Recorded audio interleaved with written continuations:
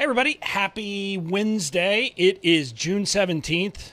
Crazy I have to say that. Um, I can't believe we're already to June. Um, hope you're joining me here. Um, today, I'm going to be talking about um, some of kind of the, the biggest takeaways or biggest lesson that I've taken from James's training. And it's something that, that he talks about uh, generally in um, the rise of the digital CEO, but we didn't talk about it a bunch on Monday. So I wanted to talk about it more today. So um, if you don't know who I am, I'm not sure why you're here, but I'm Bobby Klinck. I'm the founder of, of BobbyKlinck.com, formerly Your Online Genius. Um, and, and I'm an attorney by training, but I help online entrepreneurs build and protect the businesses of their dreams. That's kind of what I do broadly. And I, I, do it with email marketing, is one of the things I teach a lot of, but also strategy and then the legal stuff. So I'm here today because my coach, James Wedmore, has a training out right now called The Rise of the Digital CEO, which you can get access to absolutely free. It's an eight part video series that every entrepreneur should watch. Every entrepreneur should be looking at this, thinking about it, etc. Sorry, I was grabbing my notes here. And, and, um, it's out right now. It'll only be available, I think, until the 25th of this month. So definitely go check it out. You can find it over at bobbyklinck.com forward slash rise. Again, bobbyklinck.com forward slash rise. You can get access to his training. Now, in the video series, he talks about different gears and different things that you need to build as an online entrepreneur to really kind of get your business humming and in the place you want it to be. And what we're going to talk about today, we're going to focus in on one big piece in, in kind of what I'm going to do is a little bit of training and talking, etc. And that's the team piece, building out a team. And if you're sitting here saying, Bobby, I'm just starting out, I can't build a team yet. I want you to stick with me because I'm going to talk about my team, but I'm also going to talk about how you need to start thinking about a team from the beginning and start making the changes to start kind of getting things in place from the beginning. Now, with that, though, um, I'm also going to answer questions. So if you have questions about what I'm talking about, drop them in the comments. Katie Chase, my integrator, who, you know, those of you on my email list, you know, yesterday I said she's better than Magic Johnson. Um, she's there. She's collecting comments for me as kind of questions and takeaways, etc. So if you have questions, put them there. I'm going to try to catch them as they happen, but I'm just going to be honest with you. I'm probably not going to catch them as they happen, but Katie is collecting them so I can answer them. But I also, aside from questions about what I'm talking about, I want to hear what your biggest takeaway from the rise of the digital CEO is. I want you to to tell us what kind of you've taken from it, what you're thinking you're going to change, what you're thinking you need to kind of make better, etc. I want you to give me that feedback of what's the biggest takeaway. And so I'll be highlighting some of that, talking about some of that as well. So so you can ask me questions about, you know, uh, what I'm training you about today, about team building, etc., about takeaways. If you have other questions, drop them in the comments. And no matter what, say hello. You know, tell us that you're here. You know, just talk so that you know I don't feel like I'm talking into the abyss. Um, and you know we can have a conversation here. And if you're not catching this live, but you're you know catching the replay, you know drop in that you're watching the replay. Let us know. Um, and if you have questions there, go ahead and put them in because I'm going to try to come back and answer questions in, in the the comments, etc. So that's what we've got planned for today. Now with that. I'm going to dive into kind of the biggest thing that I have learned personally from James. And, and there's so many. And there's a bunch of things, you know, we put together a resource page which had kind of the five big lessons. And a lot of them kind of come together. But when I really think about what's different about my business now versus where it was even a year ago, which is kind of six months into the period or about five months into the period of me really working with James – it's my team.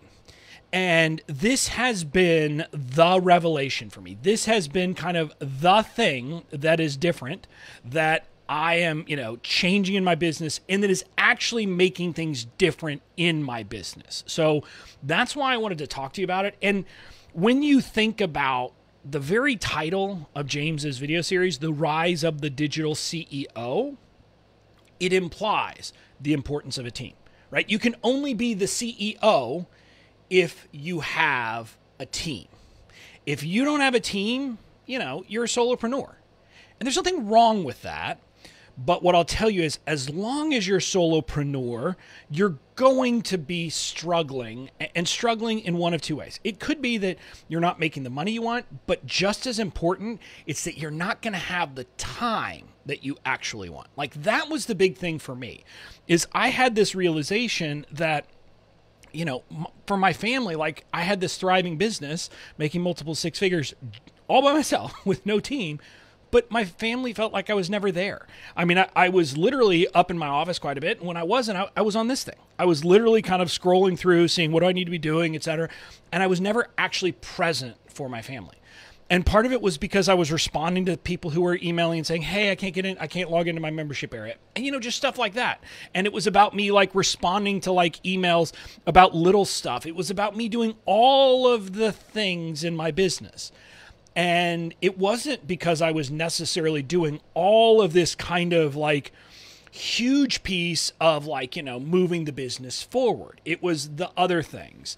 Um, and, um, you know, that kind of really was where I was. Um, I, I, was happier than I was before I'd started my online business, but looking back, I was headed for a crash because I was truly burning the candle at both ends and and not making my family happy. And again, the big thing that that if you know me, if you've been in my world long enough, one of the things I've always talked about is that like the reason I, I, I, said I wanted to stop being a practicing lawyer and start this online business was largely because being a lawyer meant that like I couldn't be there for my family. I like I was I missed my daughter's uh, pre-K graduation again, and it's like one of those things that it's like before it was my daughter, I thought those things were silly, right? Okay, oh yeah, we have graduations for pre-K, we have graduations for K, we have graduations, and I thought that was silly, but I missed that because I was doing something for a case. And this actually happened as I was after I was transitioning. But before I st- the year before I really started the transition, my parents wanted to pay for my wife, my daughter, me to go snow skiing with them in March, and I couldn't because I didn't control my own schedule because I was, you know, beholden to judges, opposing counsel, etc.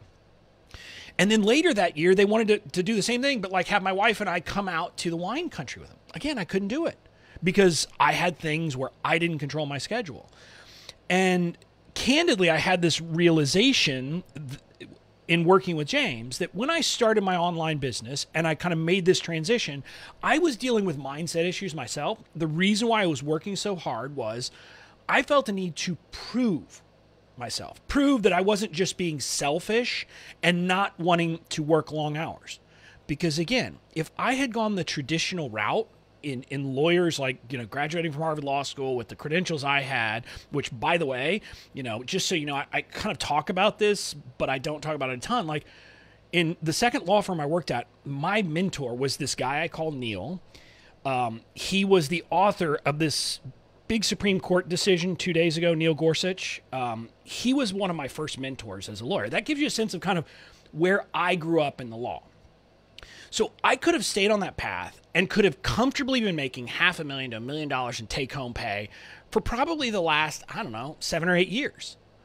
And so there was this guilt of me feeling like I needed to do all of these things and, you know, learn all of these different concepts and prove my worth, if you will.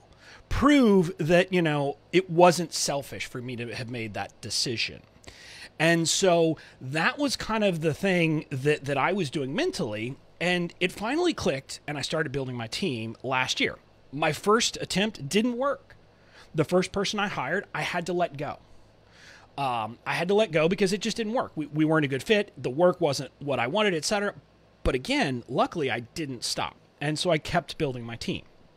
And now I have this freedom that, like, I wake up I don't have to look at my own like I don't have to look at my, my, my email inbox. I mean, I do, but what happens is I have a team that filters all this stuff, and, and I've got two folders I'm supposed to be looking at: Bobby urgent, Bobby non-urgent. That's it. Everything else gets filtered in the right place. And customer support requests, like if it's something that requ- you know that's really wanting to talk with me or something, it comes to me. If someone responds to one of my, you know, emails, that comes to me. But the random things that I was doing before, I don't even have to worry about. And like candidly, like, I'm trying to remember, there was something that happened. I guess I sent an email um, or did a live or something. I don't even remember what it was. Oh, we decided to send an email after, I think, Monday's um, live where we announced the contest that we're running. And, um, you know, I had this thought, oh, I should tell Bobby Joe who does my community management and and um, social media to post something. By the time I even thought that, I looked and she'd already posted it. Right, so that's where I am now.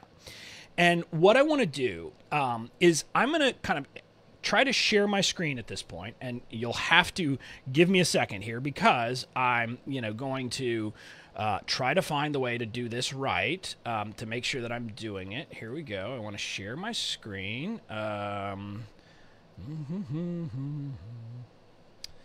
uh, just a second. I'm going to have to do this. It's giving me some difficulty. I should have thought through this in advance, but yes, we'll give it the permission. And uh, okay, we'll do that. So um, hopefully now you guys are seeing my screen here. Um, and if someone can put in the contents if, or comments if you're seeing this, um, so that I can kind of chat through it and help you understand what this all is. So, um, but what I want to do is kind of walk through my current team, but also give you an understanding of how I've built it, why I've built it, all of those things, so that you have a sense of kind of how this is all put together.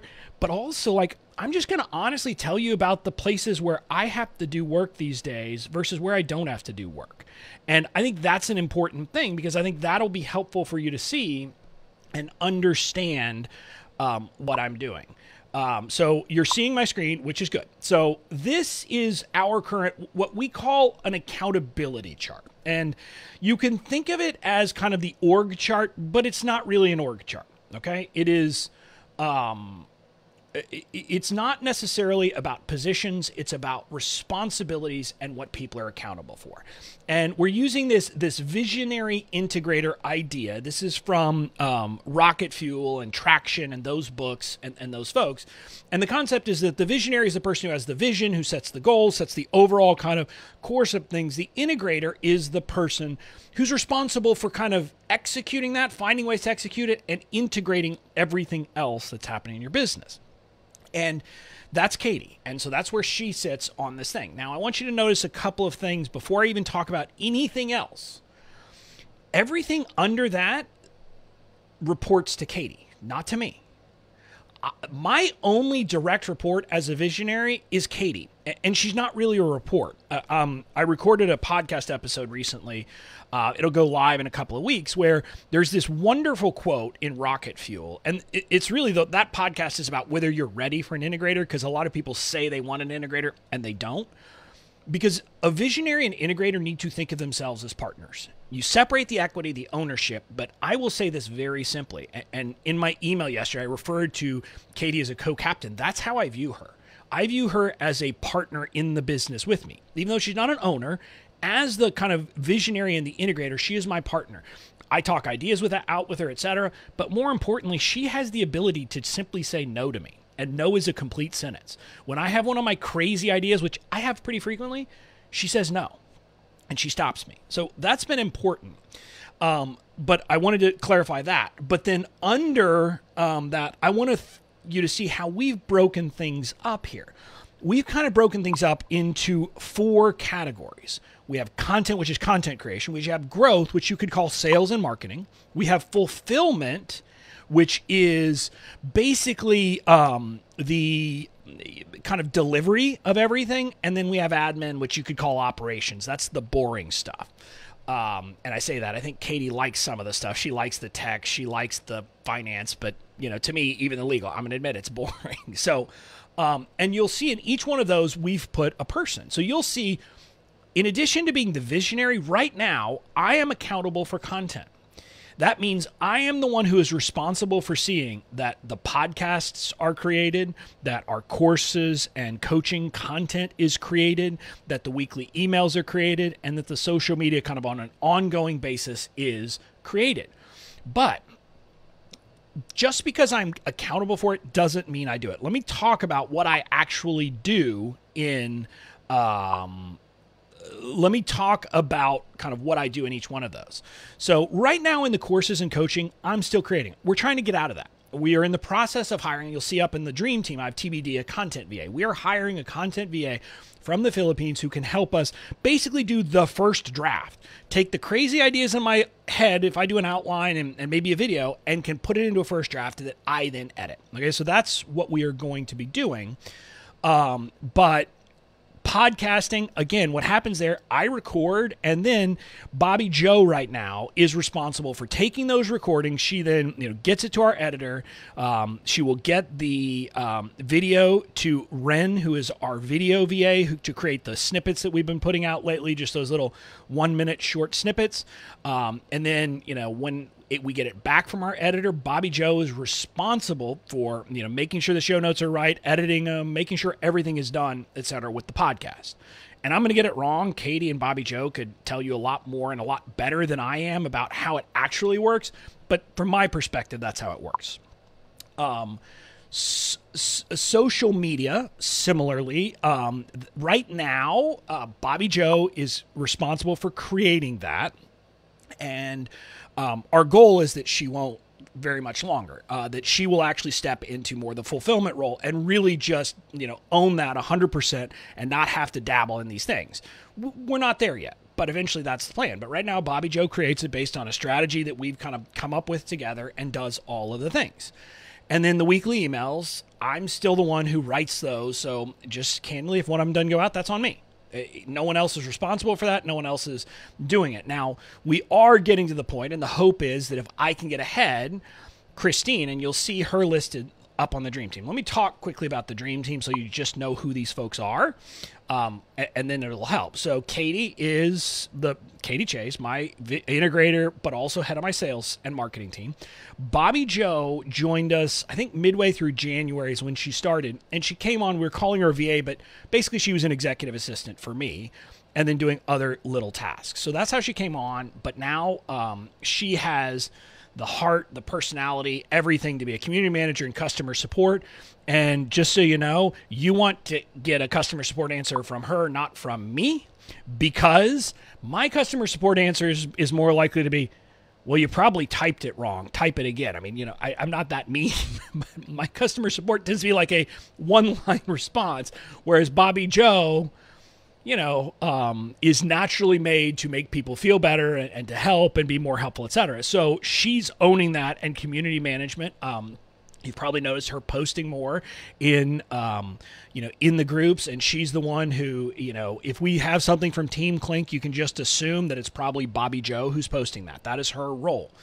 Um, so she's stepped into that. And, and part of why she's been able to step into that and, and kind of step away from being my executive assistant is we hired Christine. She is an admin VA. She is in the Philippines.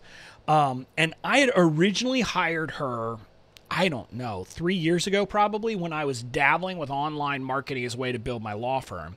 And I hired her through a service um, called Virtual Staff Finder. If you've heard of Chris Ducker, he is an English guy, but I think he lives in the Philippines. He has a service that helps people basically you know you tell them what they're what you're looking for in a VA in the Philippines and they will find you three candidates that you then interview and decide. So that's how I originally found her.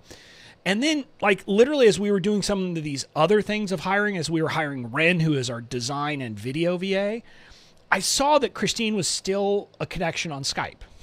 and you know, Katie would say there are some things I do that I give her whiplash in a bad way, but I think this one she would say I gave her whiplash in a good way.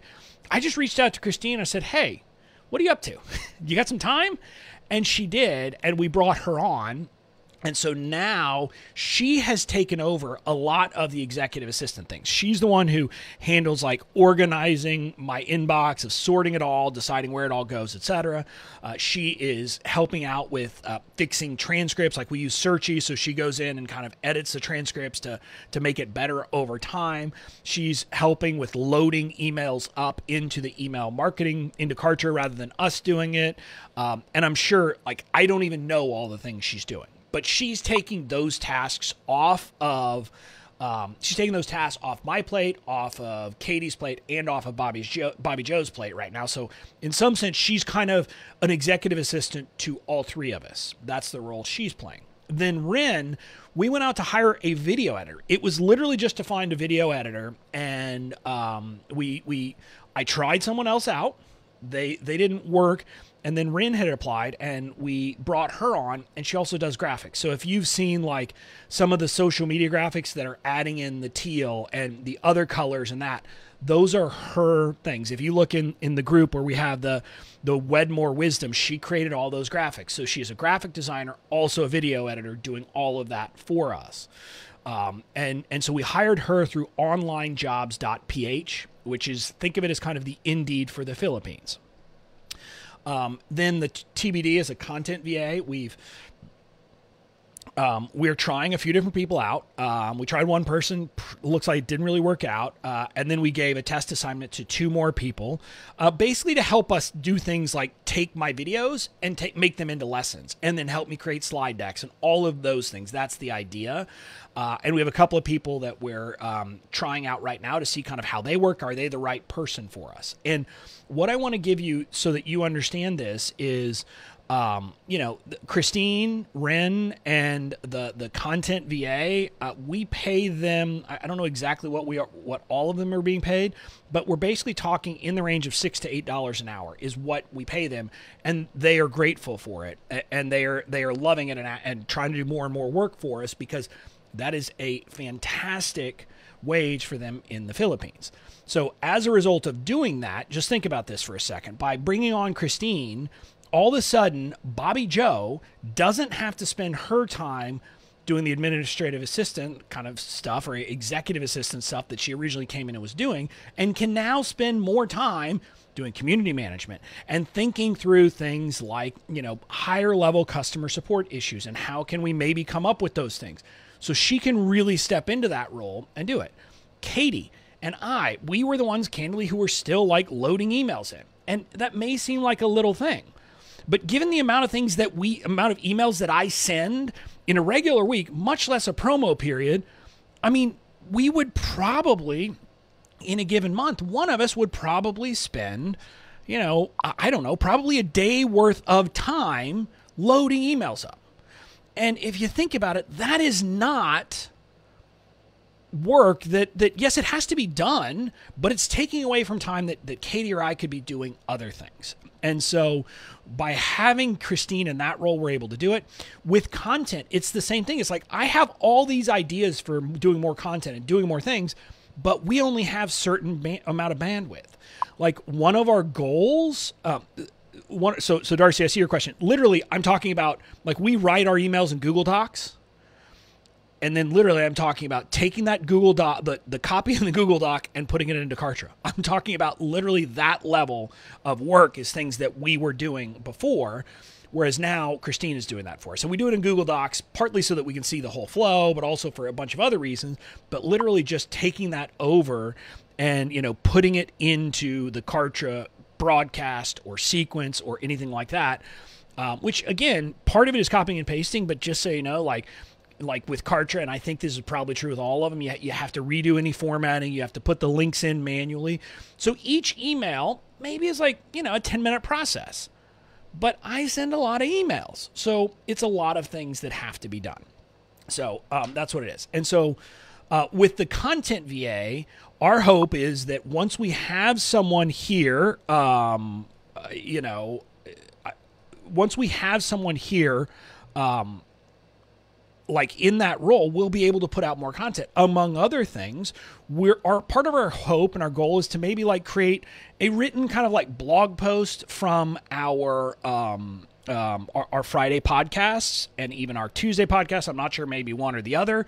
And then also, I'm going to start doing something soon, and I'm letting you guys in on a secret here. I'm going to start doing something called Bobby Ruins Marketing that's the working title. Inside the the, the badass online marketing group where i'm going to be kind of you know doing something. If you've ever seen adam ruins everything on tv it's kind of like that but me taking apart some of the silly things that we see and misconceptions in the online marketing world i'm going to be doing videos of that. And our hope is that the content va can then take that condense it into a written article etc so that's like what the content VA. And I'm just saying, when we do that, all of a sudden we're able to multiply all of the things that we're doing, in addition to, I'll just be honest with you, and this is going to seem silly, but like when I create slide decks for my courses, I can't tell you how much time I waste.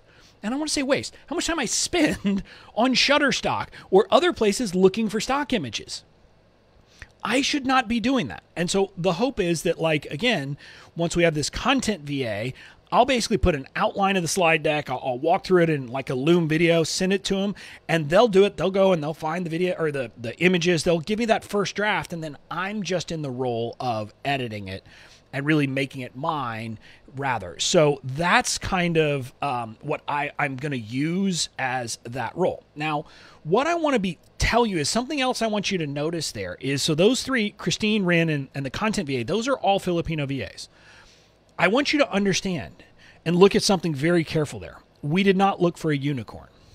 One of the mistakes that a lot of people make when they're trying to say, like, hire a VA, whether it's in the US or offshore, is they're looking for someone who can do everything. They might be there, but they generally won't do a great job at all the things. You will be better off finding people who like a different person for each thing. So again, like like Ren, and, and we we we made this mistake earlier. Katie and I earlier this year hired someone who the plan was that that she would be our audio editor for our podcast, and she did a test project that was great. she did the first actual episode we were going to do and made me sound like Darth Vader. I could get into the details of I'm pretty sure I know what she did. She overmastered, took out all the background noise so that you would literally hear like every time I, I breathed, but also made me sound very digital. Um, but at first we were also saying, oh, well, the, the, the, you know, um, she could also, you know, create her graphics and do all this. And they were just like, she created some graphics and I was looking at it, I was like, there was stuff that was like off, um, you know, off center and not like intentionally so. I was like, you know, and my brother is a graphic designer, and I was like, yeah, I I, I can see that, and it, it drives me nuts. I was like, my brother's mind would be exploding. So, I want you to get the sense you don't want to look for one VA to do it all you want to be thinking, I'm going to hire an admin VA or I'm going to hire a design VA. Like, you shouldn't be in Canva unless you love Canva and are a Canva expert or, you know, content, whatever it is. Um, so, so, uh, by the way, Kitty, I'm seeing your question. Look for Virtual Staff Finder, I believe is the name. Um, or if you just search for like uh, Chris Ducker, uh, virtual assistant, you'll find it. So that that's where you do it. And, and again, they'll charge you a fee. I don't know what it is now. I think when I hired them way back when, they charged me like 500 bucks. I think to vet it, and they gave me three candidates. Um, and I think the way it worked is if if I didn't like any of them and didn't hire them, they would find me another three. But like once you hire the first person, then if you want to do it again, you'll have to pay the fee again. But um, you know that's one option. Now, and, and with Christine, that's how we found her. But with Ren, again, and, and this content VA, I want you to also hear something that I just said, or that I said a bit ago. Neither one of those was the first person we hired, even for that role, even in this round. With the video VA, we originally, you know, gave a test project to someone else to do a video. And like part of the thing was the person, you know, that person it was a guy and he, he was asking a bunch of questions wanting us to identify what we wanted to snip out and then like even when he created the video there weren't a lot of you know transitions and um, like the vo- the video or the audio or not audio the, the, the music in the background was too loud. And we told him multiple times to turn it down and never did. And so we are like okay well this is not going to work out. Because part of it was like if we have to go through the podcast figure out what 45 second we want him to snip out and then give him all those instructions it's adding work to our plate when you're hiring a VA of any kind, whether it's here in the US or offshore, I want you to be thinking this should be someone who can do the work and take it off my plate without me having to do a lot of management. Now, you have to manage them as a person, but my point is you don't want to add work that you have to do to get them to take other work off your plate. And so, because of that, that first person we tried to hire didn't work out. So then we, I went back to the applications. Ren was in there and we hired Ren, and Ren has been fantastic. I mean, you hopefully you've seen some of the videos that we've been doing these snippets. She does all of that. If you've seen, um, if you've gone to our resources page for James and seen the video on there where like my logo is in a ne- in neon letters on the first, you know, kind of at the beginning, Ren created that. So that's what she's doing. And, and again, Katie can drop the, the link if you haven't gone to that page yet, if you want to check that out. I think right now it's bobbyklinck.com forward slash BBD will take you to that resource page. Um, but you can see that video if you want to see the kind of work that Ren is doing for us, and that will give you a sense. Now, the content VA, the same thing. We had someone, and the first person, I was like, oh man, this is great. Um, it was, again, it was a guy who had a, like, seemed to have a great sense of humor, was making jokes with me in Skype and all that. I was like, ooh, this could be, this could be kind of awesome. But then, like, um, we got the, the, the test project back, and like, I don't even know the best way to explain it, but it was like taking like a lesson that I have about email marketing and like, I don't even say making it into a short story, but it was like, you know, like it, it, just, it wasn't right and it wasn't great. And so we're like, okay, this is not going to work out. So we went back and now we have a couple of other people who are doing test projects. Actually, one of them, um, we, I gave the test project last night and I already got an email back this morning with the results. Haven't had time to look at it, but we have that. But the point I want you to get is, if you go with a service like Chris Ducker's, they're going to kind of vet people and, and, and you can make the hire that way online jobs is how we're hiring most people now. And what we do, we put out a job application and then we give them a test project. And I just assume that, you know, the test project, the first person isn't going to do a great job. And that's okay. I view that as like, you know, I'm going to make a test. And again, on these things, we're often saying spend no more than five or no more than 10 hours on the project. So it's like, okay, if I'm paying them seven bucks an hour, 10, 10 hour maximum, okay, I spent 70 bucks to find out if this person is a good fit. I'm willing to make that investment every day because it saves me time. And um, we'll talk about this a bit more um, tomorrow. Uh, if you join me live tomorrow, I have a big announcement, but we're also going to preview uh, our BBD bonuses for people who are thinking about signing up for James's program. And one of them is going to be really to walk you through in detail how to actually do this process. Um, that's all I'll say for now. But um, what I'm saying is, what we do is we don't spend a bunch of time on the front end. We spend minimal amounts of time to, to find potential people, give them a test project, and if it works out, great. If it doesn't, we move on to the next person. And the reason we're doing that is all of these things, when you're hiring a VA, is about saving you time. And um, what you don't want to do with a VA is spend a week reviewing 200 applications, interviewing 20 people, then only then giving them a test project to see is this person good. That is not the way to do it because what you're thinking is you're going to find the perfect VA. You're not going to. You're not going to find the perfect anything in life. I just, you know, spoiler alert there. Um, and so, what I want you to know is you want to do things in a way that you can test someone out, you can see if they work, and then decide. And you just do this, and you know it, it makes the process seamless. So that's the dream team. I went on a long time about that, longer than I meant to. Um, but I wanted to give you a sense of who I'm talking about in various places. So, um, now like let me move out of the content section. I think i've talked about that. And just so you know you know katie and i will be meeting the beginning of q3 like for first couple of days of july to talk about planning for q3 and part of that is going to be talking through what is our vision for kind of the next person we're going to hire. And i'm not sure exactly who that is. We'll i'll tell you kind of candidly I think we'll be thinking between two people. Either we're going to try to find someone to replace, like not right away, but that we hope could replace me as accountable for content over the long term, which would mean basically bringing in maybe a social media manager or a content manager or something like that. Um, or we're going to look to hiring an assistant for Katie. And I'm not saying we're making these hires now. We're not but we want to have a vision for when what our next hire is, what we're thinking, because that affects things. That affects the training we pour into people. That affects kind of these different things. So um, that's where we will, you know, probably go. Um, but what I want you to get is like when I'm sitting here in, in my content role, I shouldn't be doing that long term. That's not a good plan. But actually, before I move off content, I want to show you something um, you'll see there's this lineup for me in this box of content going up to Katie. And that's an important thing because I want you to understand that when I am in my role as the head of content, Katie is my boss. And I mean that 100%. Uh, now, again, there's some difficulty with it, right? Because she obviously knows she can't actually fire me. But I want her to tell me things and, you know, I should be thinking of her as my boss and I'm working on that. And so like that would mean for example, she wants me to write my weekly emails further in advance and get drafts put together and that's one of the places where I'm falling down in my role and I need to get better at that. But in my role in creating content and the head of the content team, I answer to Katie. So, I want that absolutely clear. And when you're thinking about building a team, that's how you're going to need to think about this.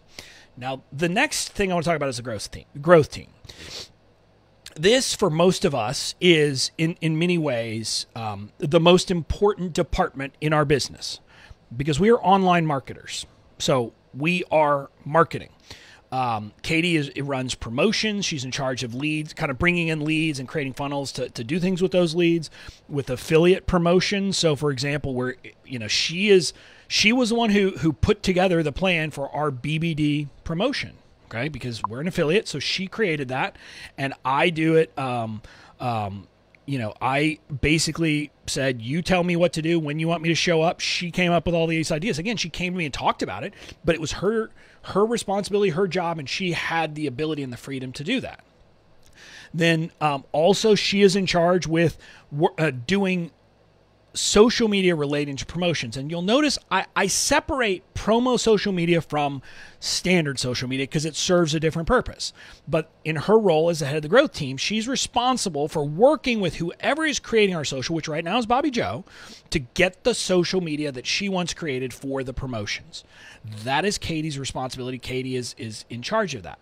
Um, Facebook ads, we have Arfon. Um, those of you who are in my Fans First Society or, or, who did Massive Action May, hopefully you you were there for the training Arfon did. He does the work for us, but Katie is the one, and this is a place where she still brings me in because I understand Facebook ads more than she does. But long term, what I've explained to her is my goal is that you know Arfon is basically doing the strategy, and Katie is simply responsible saying, hey, you know, here are our key performance indicators. We want leads below this cost long term. We want, um, you know, we want, um, you know, sign ups for promotions at this price, whatever it is. That's what she'll be responsible for doing, and just kind of managing Arfon or you know whatever, and kind of managing that role. And then affiliate cr- recruitment, we have affiliates who can promote our pro- programs and our products. So uh, Katie is responsible for that. Now, if you look at that, you realize she's the one who makes the money for the business. Um, so obviously, she fits a very important role. Um, and this a lot of people condense the content with growth. So a lot of people would put the podcast, the social media, and weekly emails into the growth team. One of the things that I believe is that content is a standalone department. And the reason why is because content comes into play in promotions and marketing, but also in the actual fulfillment, like actually delivering the product. And so my view is I want the content team, I want someone in charge of content who is responsible for making sure that we have consistent messaging, consistent themes, consistent feel everywhere from our um, you know our free content and the podcast and my Facebook lives, etc., all the way through our paid content. So that's why I broke it apart into a separate thing rather than having content creation in multiple places. So that's why we put it there. Um, so then we've got Bobby Joe, who, like I said, she handles community management, customer support, and then product delivery. And right now, obviously, on product delivery, largely it's me. But for example, with Badass Email Marketing, as we were doing uh, and creating the content for Badass Email Marketing. She was the one who was responsible for creating the membership side and kind of creating the pages and doing all that um, and, and things like that. But more importantly, she's the one who makes sure I show up when I'm supposed to show up. Like if it weren't for Bobby Joe, Bobby Klinck would I don't want to say ghost you, but I'd forget about things. and Bobby Joe does that. So like posting things like, you know, reminders for Q&As, like putting things in different groups where we're collecting questions. That's all Bobby Joe. And so it's that and community management, building our community, the free and the paid communities, and then customer support is her role. Then admin, I won't bore you with because that's you know Katie's responsible, but you can probably imagine like legal, I'm actually responsible under her in the admin section, but Katie does that. So that's kind of the thing. But what I want you to get a sense of is for for growth and promotions, I show up as the puppet in a way. Like Katie tells me what to do and I show up. Katie tells me, for example, hey, we need to write these emails. And so she and I work on it. uh, we'll work on emails together. Sometimes she does a first draft and I do it. Sometimes I do it. Um, you know, it really depends on those. But in promo, she tells me what she needs, and I come in and I fill that role like I'm doing here doing this training. But she's responsible for it. And and I'm not going to meddle. I don't mess with funnels unless she tells me to. I don't, you know, uh, and I used to, but now I don't go live for a promotion unless she tells me to, or we talk about it. We decide, yeah, it's a good idea. Like I would not do that because that is her role and that is her area of accountability. And I want her to have control of that. So I'm doing that. Now, this is my team, and I'm going to go back to, to the camera for a second. And what I want you to get from that is there are a lot of different roles in my business, but so I mean, in some sense, now I guess I have a team of, of six people, and and, and maybe Arfon would be seven if we're counting Arfon as kind of a contractor. But we have we have a team, but three of them are VAs um, in the Philippines who are helping us with the doing tasks. And what I want to suggest to you is, if you're just starting out, that's where you need to start you need to start by figuring out what are the things that are taking a good bit of your time but aren't actually like high leverage activity. It's probably going to be the VA to do those things for you because that will free up, again, even if you only say five hours a week, which by the way, you know, these days you could easily get someone at five hours a week six to seven dollars an hour so for you know 30 to 35 dollars a week you could get someone to free up five or more hours of your time. And actually, they'll probably free up more than five hours of your time because they will be better at it than you are. Like, literally, you know, I'm not good at those things because I don't really enjoy it. So, my team can do it much more quickly than I can. Like, customer support would take me much longer than Bobby Joe. Even though Bobby Joe's, you know, not an outsourced VA, but I'm saying I want you to get that sense. So, what if you could free up five hours of your time to do the highest impact work in your business? Whether that's creating your course that you've been sitting sitting on, haven't done, creating a membership that you haven't done, going live on Facebook to actually build connections, building communities, um, planning in your business. I mean, you could do that for about 30 to 35 bucks a week. You could free up those five hours every week in your business. And that's the power of starting to build your team. And I wanted to give you guys that sense that that is possible because a lot of us like, and I was the same way. I was like, oh man, you know, hiring, I can't afford to hire. It's going to be too expensive. And I was thinking in all of these terms. And um, I was shooting myself in the foot by having that attitude, by having that viewpoint, because I was operating from a perspective of, of lack, if you will, of not being able to.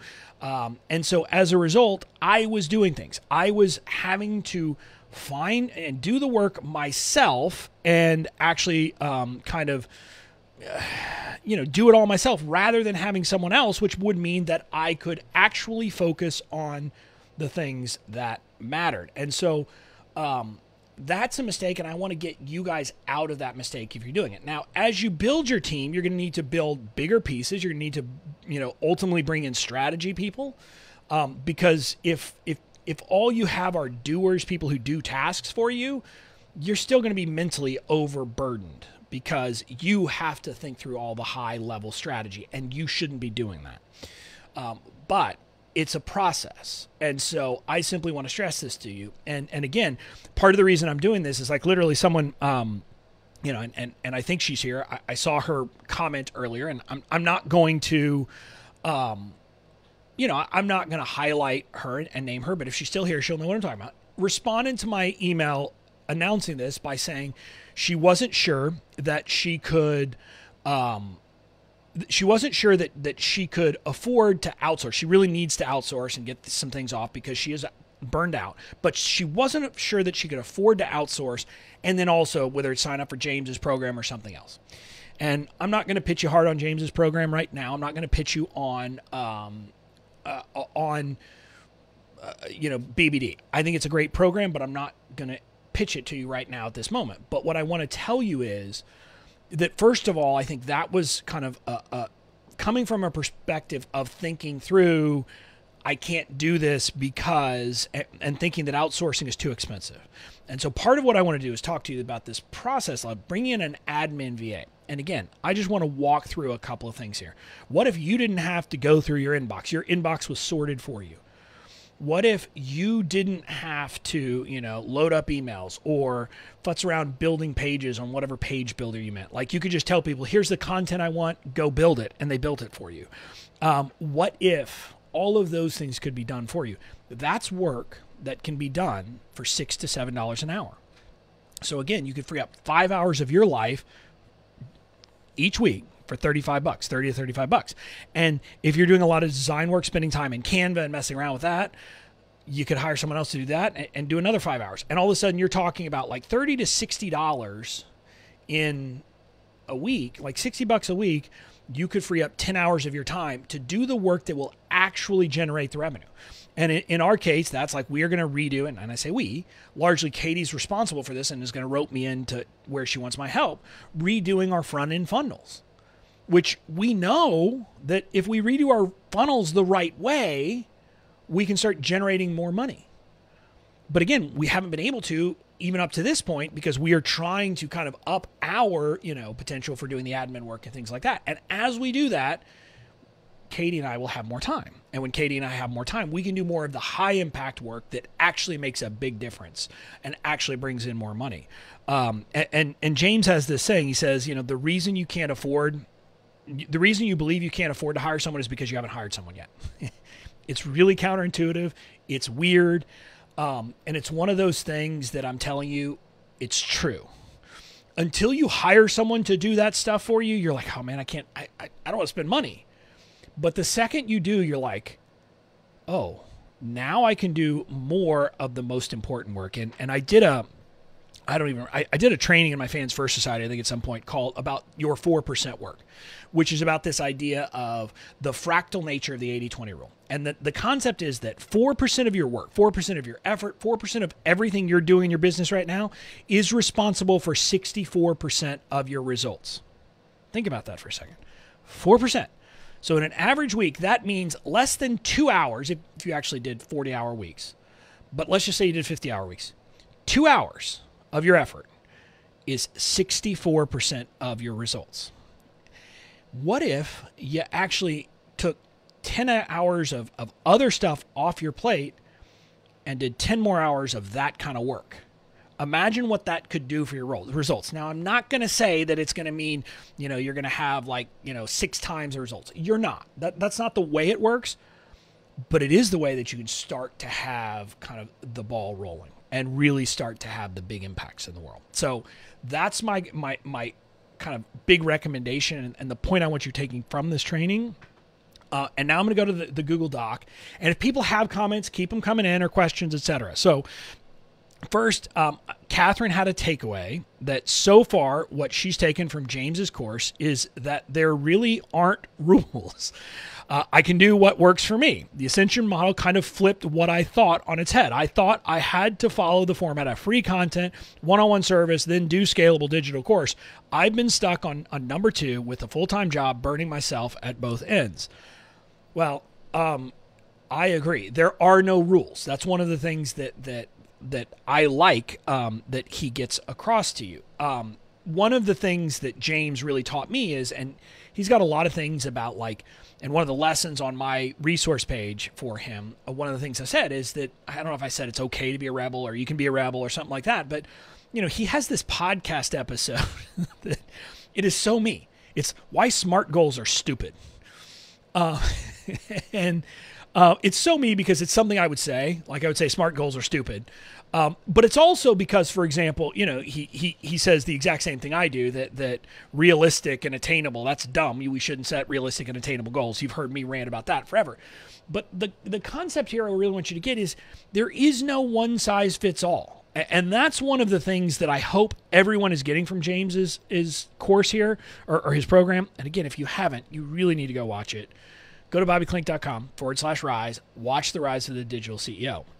This is one of the things that's different about James versus most of the people we follow online. most of the people we follow on, online say this is the way I do it, and you have to do it this way. And, and again, they don't use that language, but basically that's what they're saying. They're saying there's one way to do it, and I'm going to show you what that is. James doesn't tell you that. Now, there are certain things that he believes very strongly. Like he believes very strongly in in outsourcing and building a team. Um, but I would also tell you, I haven't necessarily built my team the way that he suggests. And I'm gonna I'm gonna brag on Katie here for a second. One of these things is Katie. Like James has this concept that that you should use what he calls the mailroom strategy, which is you should generally hire people for like customer support or executive assistant role. That's where you should hire and you should let them kind of come up through the ranks. So that's how his integrator Jilly, she she was in, I think she was actually initially his wife's executive assistant and then his executive assistant and then she was promoted up. I didn't do that with Katie. Now, Katie started as a project manager for me outside and then an online business manager for me as um, a, a contractor, but I hired her straight in as an integrator. That's not what James teaches. But I'm also going to tell you this, and this is where I'm bragging on Katie. Um, at our retreat earlier this year in James Mastermind, there was a day before the main retreat called Integrator Day where we could bring our integrator with us and they were doing training, et cetera. And I brought Katie, and James made a point of pulling me aside and saying that um, that Katie was pretty amazing and that um, I should hold on to her. And so I share that so you know that like even though I hired Katie in a really like not the way he teaches, he was happy that I did it because he's more interested in in me doing what's right for me than about me following some you know script exactly how, how he teaches it. And so he's not going to tell you you have to create an online course or you have to create a membership or you have to create a group coaching. He's going to tell you you have to have one great offer to start. And then over time, you want to build an ascension model. And you can create that however you want it to look. And like, he's not going to get mad at me because, for example, I want my higher level offers to be more of me kind of working like directly with people. Like with my inner circle uh, kind of group coaching slash mastermind group um, i'm doing something really crazy. Like we are meeting every single week going forward in july. And, and i say that there will be weeks where i can't because of travel. But like a lot of people like you know who are setting up those groups like we're going to meet once a week once a month and that's it. And i said no no. I mean to me the way i can provide the most value is with meeting with people more frequently and that fits my personality most of you know I am someone who naturally wants to connect with people, wants to build connections. And so James doesn't give me trouble for that. But heck, James was the one, James and his mastermind were, were, the group that, that gave me the thought that I didn't have to do any launch at all for my template library. Like I was in this mode of, oh, you got to launch with a webinar. And so I'm doing webinars. And then I do my first webinar last January, January 2019, and it worked fine. I mean, I, I made money, etc. But you know, and I came to the mastermind retreat that year and, and said, hey, you know, like was talking through basically how how do I make my webinar better next time, or how do I make the results of my webinar launch the, better the next time? And they said, well, why are you assuming you have to do a webinar? and they were the ones who gave me this notion of doing what I became my non-launch launch email only launch last year, which became kind of my thing. Again, because James gave me permission that you don't have to follow any set of rules. You have to design a business to suit you, your business, your desires, and what you want. So, Catherine, I am glad that that was your takeaway because that is one of the most powerful takeaways that James will like, you know, James teaches throughout, and I want everyone to have that. So that was it. Um, then Darcy asked a question regarding the rocket fuel uh, visionary integrator quizzes. Now, if you haven't yet, like, you don't need to, to buy this, but when you are building your business and you're thinking about bringing in a Katie, bringing in an integrator, you got to read this book. Don't even think about hiring an integrator without having read this book. Now, I listened to this book. Um, but Katie and I read it again, like together recently, and you know it, it's great. And there's a quiz in here, so you have it. Um, and and there's a quiz that lets you decide whether you're a visionary or an integrator, and I think they have a link to it as well. And Darcy said, I was slightly more visionary, but very high integrator too. Um, maybe that's why it is hard to let go. Anyone else? Um, no, Darcy, that's not why it's hard to let go. Um, now, I mean, maybe that's part of it, but it's hard for all of us to let go. I'm going to tell you that, um, and again, here's something, and, and, I'm doing a spoiler, I guess, for um, my podcast that I recorded yesterday, which will come out in a couple of weeks. Um, to bring in like an integrator, okay, um, you have to be comfortable with someone else knowing more about your business than you do.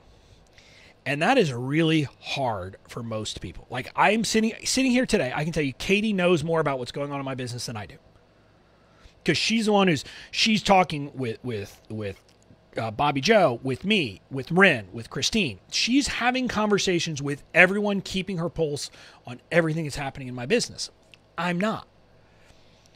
You got to be willing to do that, but also letting go is hard. Um, and like I had this realization, like I actually went through a group coaching program on building your team.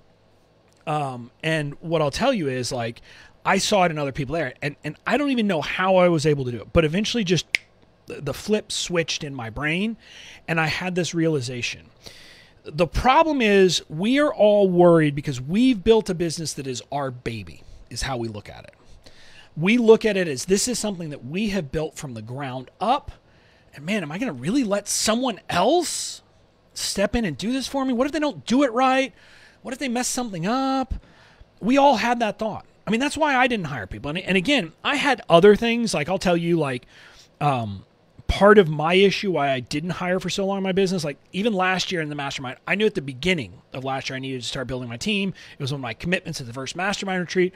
I came to the next one in June and I still hadn't done it. Um, and I made excuses and all this and you know then some questions really you know um, helped me realize part of what was going on for me was guilt because I'd had to in my law firm days there was an associate attorney who came in who was doing a great job but as I transitioned into building my online business I had to let her go because I just didn't have work for her. Nothing that she had done wrong and there was guilt. I had guilt about that because you know, I will never forget that conversation. It was one of the hardest conversations I ever had to have. She cried. You know, I was, you know, doing my best not to cry. I don't know if I did or didn't. Um, but it was gut wrenching to have that conversation. And James helped me see, like last at our mastermind retreat last June, he asked me a couple of questions. He said, Well, do you think that the, the the two years that she spent working for you, do you think she learned a lot? I said, Well, yeah, definitely. And he said, Do you think she is happy to have worked for you? I said, Well, no doubt. She sent me notes afterwards. She sent me emails saying I was the best boss she ever had, and it was a great way to start. And he said, Then why are you focusing just on the end? And so literally that little thing switched something for me. So that's the kind of thing that that helped me get over it. But with me it was guilt. So if you're not hiring, that could be part of what's going on, but it could be letting go. And letting go is a big piece.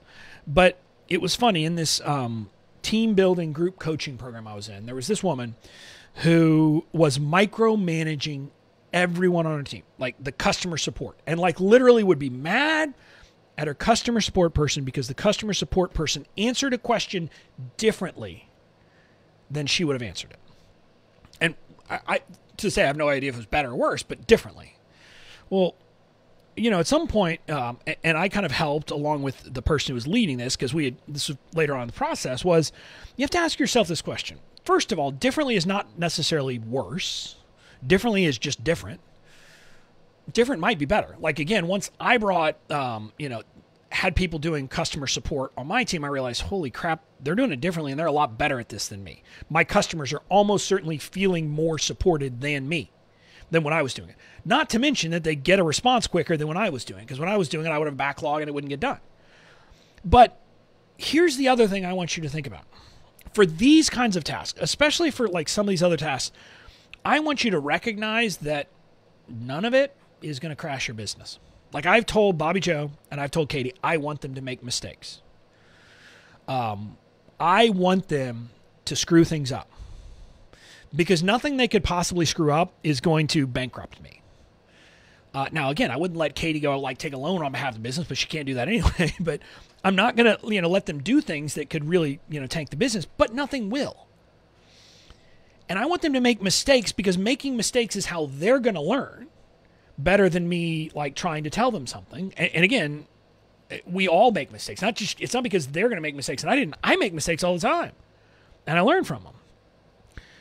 And so I want them to make mistakes. So that's part of it.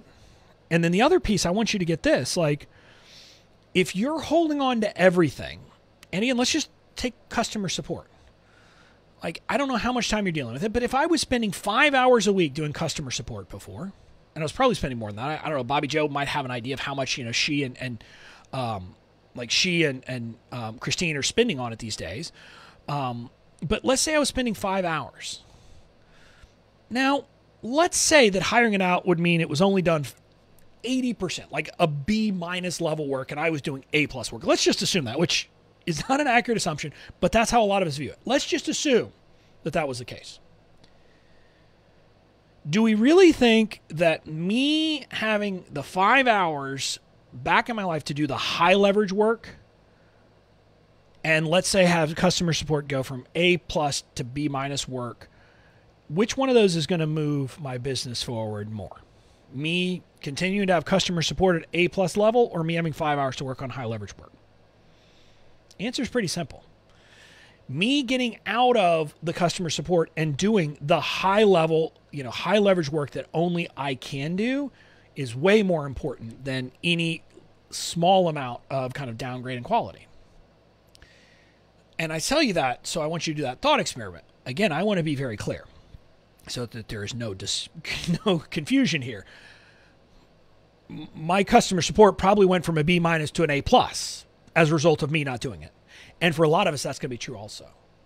Um, you know, unless you are fantastic at creating designs, having someone else do the designs will mean you will have better design and you'll have more time to do the high leverage work. Having someone else, you know, build your funnels, they're probably going to be better at building your funnels than you are. Unless you are a funnel builder, like unless you really love building, you know, email funnels and all that stuff, chances are that you can get someone else if that's really what they specialize on, they can do better. Or writing a blog post. I could never write an SEO rich blog post because I don't have the patience. Let me just tell you that. So, my content VA hopefully will actually be able to take the stuff I do and add this level of SEO quality to it that I wouldn't think about. So, a lot of times we think we have this story in our minds that by letting go, things will get worse, when in reality, by letting go, things will get better. Literally, that exact task will get better, but also you then are freed up to do the other stuff, the stuff that makes a bigger difference. And and Darcy, because I know what you're working on, like you have would have time to really focus on your runway for your upcoming launch and really spend the time building the connections, doing all of that stuff that only you can do. So um, I know a lot of us have this issue, um, but it's not because you're an integrator. It's because your business is your baby, and we all think of it that way. That's how we think of it. And so um, what I'll say is it's actually harder to let go the longer you wait to let go. So for me, it was harder to let go, I think, than for a lot of people because I didn't really start letting go until a year and a half after I'd really started having some success. Um, and also, I'm just going to tell you, like, you know, I, I had all of these beliefs and I had all of these things and eventually like I got over it. Like I said, for me it was hard, and then eventually the the the the flip the switch flipped. I always say that wrong. The switch flipped, and now I think Katie would say Katie would tell you. I mean, I'm the opposite. I'm like I don't want to do it. She she'll ask me my preference on a graphic. I'm like I don't care, um, because I recognize it's literally just um, my preference, and who knows. So I let it go. Now, Linnell said, I don't understand why the visionary is not responsible for the content. Why is it not the visionary's idea as to what the content is? Or are you saying the visionary should not be responsible for delivering content? Um, this is a great question. And, and, this is something that I think a lot of people, this is one of the last things that people are, are, are comfortable letting go. Um, and, and it's been true of me. Like I was, you know, comfortable to let a lot of things go, but content is one that's been like, um, kind of a constant thing that I've been like, oh, mm, uh, uh, you know, it, it hasn't been easy for me. Um, but what I'll tell you is that over time, like, it, it's about resources. And What I mean by that is eventually you're going to have the same things you're talking about all the time. You're going to have the same things that that that, that are your messages, etc. And do you have to be the one who writes the blog post? No.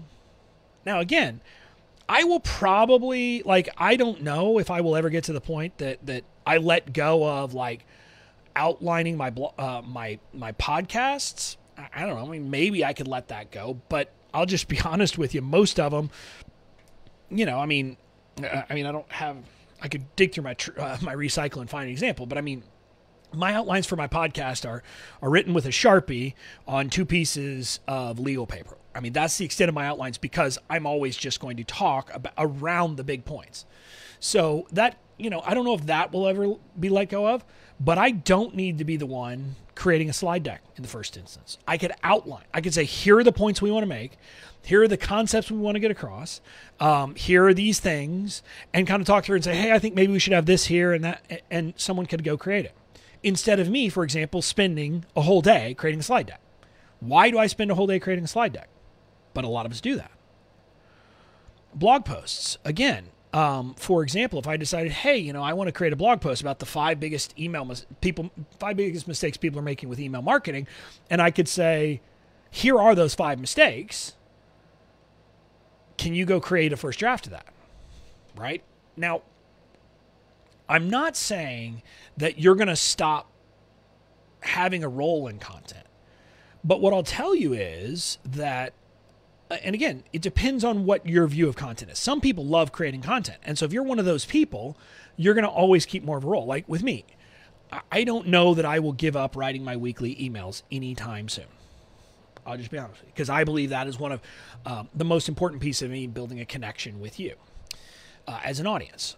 But I could tell you that, you know, um, I'm not someone who necessarily believes that every written thing coming out of me needs to be created by me. I'll just tell you that that the workbooks for uh, badass email marketing, Linnell, because I know you're in there. I mean, um, those were created by my team using my slides and using the information, and they created a way better workbook than I ever would have created.